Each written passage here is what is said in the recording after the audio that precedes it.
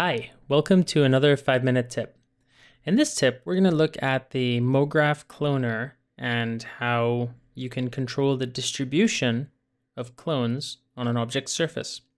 So for this demo, we have a sphere. I'll make the sphere blue and we'll get some clones going. I'm going to use a cube as my clone and I'll make the clones red.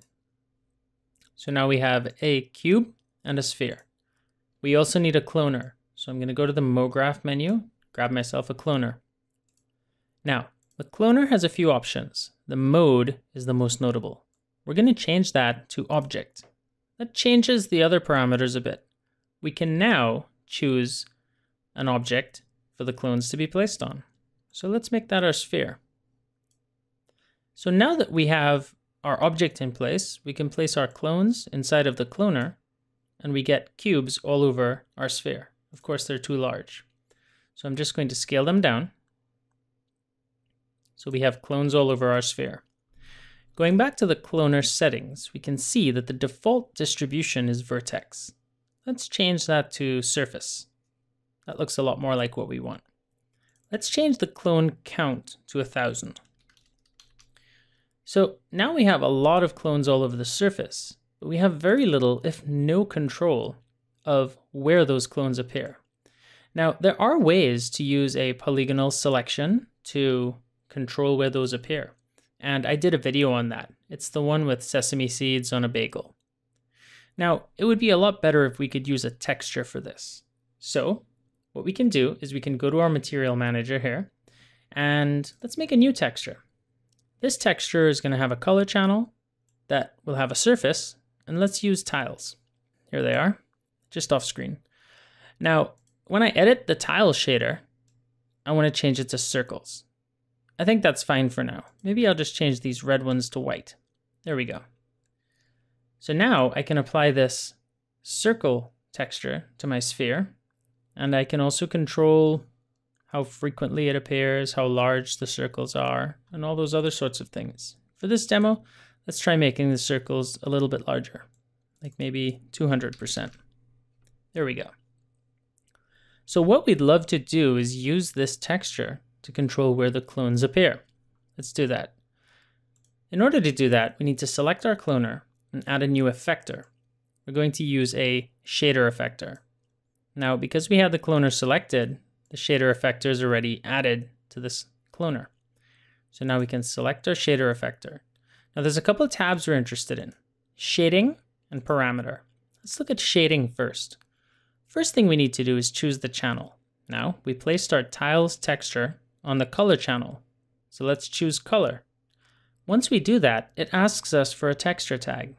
Well, let's give it the texture tag we created. Okay. Now, if you're sharp-eyed, you'd notice that the clones were modified when I did that.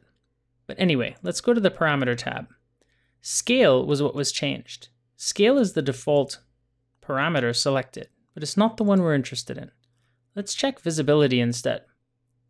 All of a sudden, the visibility of the clones is controlled by the texture. Just for emphasis, let's go back to scale. Now, if we change this to negative one, it means that completely white areas, the clones are tiny, so tiny that they disappear. Black areas, the clones are large, 100% scale. We can tweak this a little bit by going to the shading tab, and we can modify things here. Let's invert the alpha, and we can see that the exact effect has been inverted. This in itself should be pretty useful. But I'm going to show you how we can take this one step further. Let's imagine we had this model of the Earth. I grabbed a Earth texture off the internet and I also grabbed a population density map off the internet. I have both of these applied to my sphere. Now, if we were to use MoGraph to scatter people all over the earth, or icons representing people, like this little cone that I have over here, it would look really unrealistic if the distribution of the people were uniform. So, we can apply this population density map, and we can see here really densely populated areas versus areas where there's no people, the deserts, the rainforest, the Arctic. Anyway, we can use this exact same technique here. So let's grab our sphere, add our cones to the cloner, and in our cloner, let's change it to object. Once we give it an object, we can change the distribution to surface. Now that our distribution is pretty random, let's uh, let's do 2000. May need to tweak our playback a little bit. That may have been ambitious for my video card. So now we can do that same thing. We select our cloner, we go to our shader, shader effector rather, and then in the shading tab, we can change it to color, drag our population density texture tag into the slot, and then go to parameter, uncheck scale, check visibility. Now, we saw that we had to check the invert checkbox last time.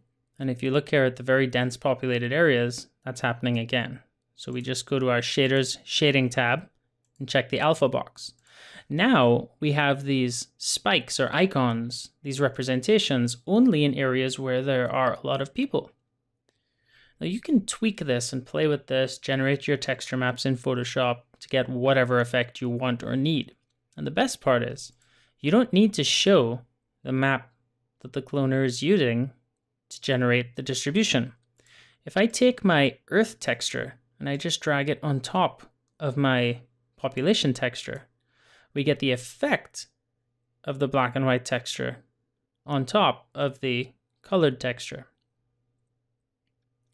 So this was inspired by a friend of mine who was trying to create this effect, and I decided I should look into it and see how that's done. I hope you guys enjoyed this tip. It's a really simple one. It's really MoGraph 101, but MoGraph is such a deep, complex, feature-rich set of tools that many of us just haven't had the time to dig into all of the possibilities. Anyway, I hope you liked it, and until next time, have fun.